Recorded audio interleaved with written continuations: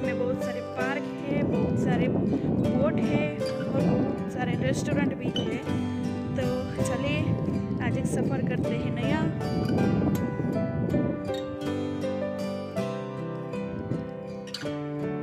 और यहाँ पे सबसे खास बात यही है कि यहाँ पे लोग ज़्यादा ज़्यादा वॉक करना पसंद करते हैं और बहुत सारे लोग यहाँ पे मॉर्निंग में और इवनिंग में वॉक करने के लिए भी आते हैं। देखो, वहाँ पे सब लोग वॉक कर रहे हैं।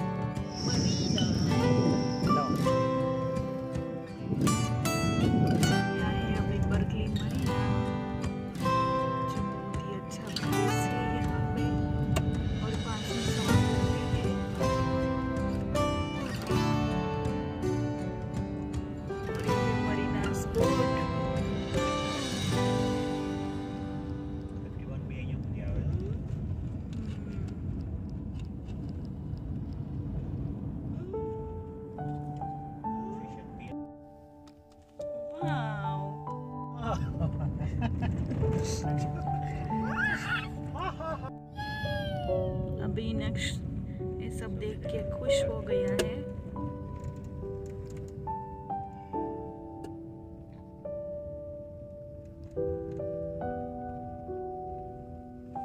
से बर्कली मरीना, बहुत ही अच्छी जगह है, ग्रीनरी ग्रीनरी है सब जगह पे।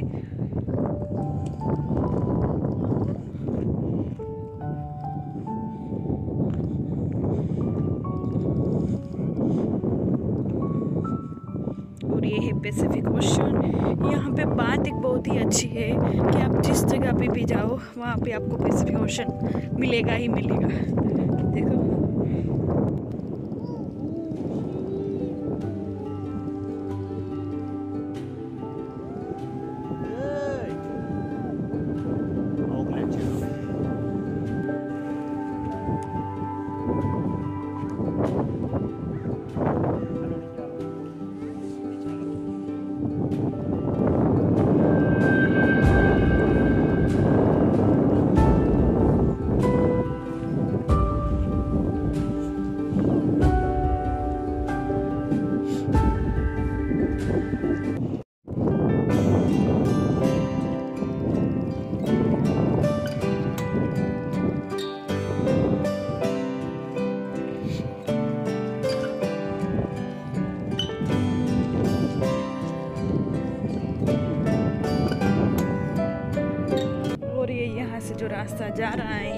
सीधा golden duck, golden gate bridge तक आपको ले जाएगा।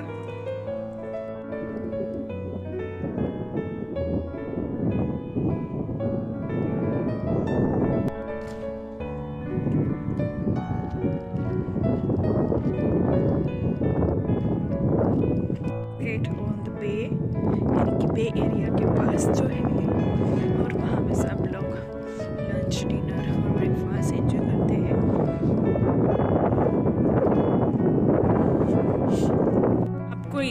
इसमें फोर फ्लैग दिख रहे होंगे, जिसमें से दो बीच में है, वो है यूएसए की फ्लैग और जो साइड के दोनों है दोनों है, वो है कैलिफ़ोर्निया के फ्लैग से कितना मस्त दिख रहा है पैसिफिक ओशन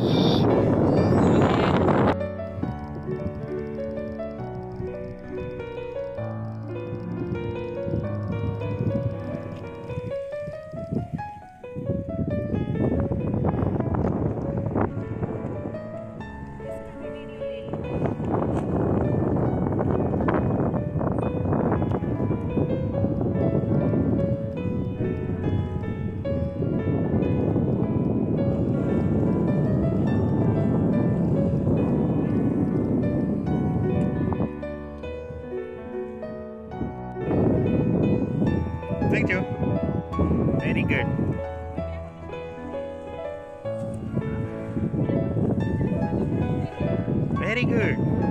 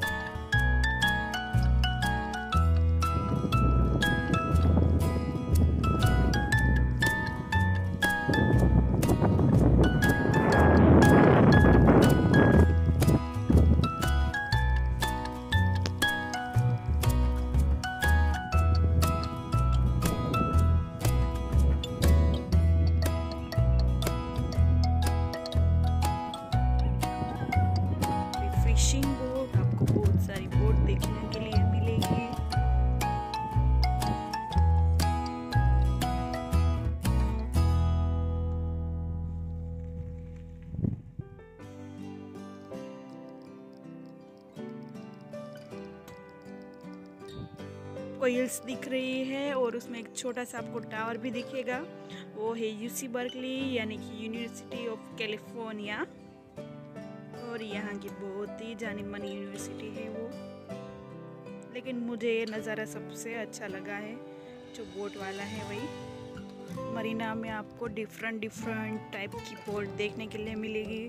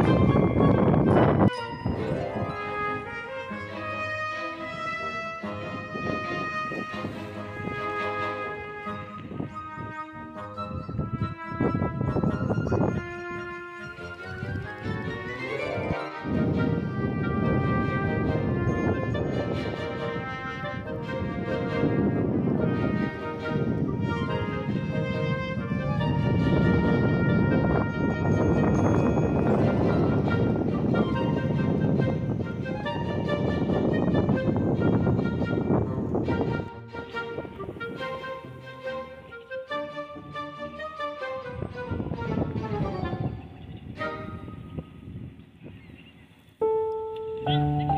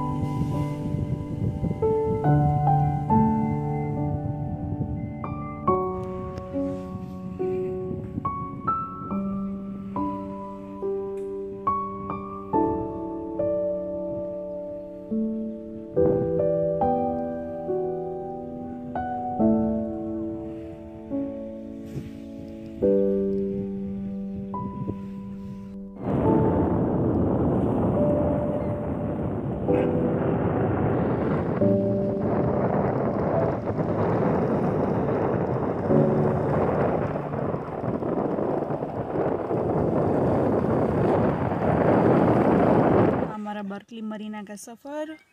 आपको मेरी वीडियो अच्छी लगी है तो लाइक कर दीजिए शेयर कर दीजिए और सब्सक्राइब कर दीजिए। और अभी तक आपने मेरे चैनल को सब्सक्राइब नहीं किया है तो जल्दी कर दीजिए। Thank you bye bye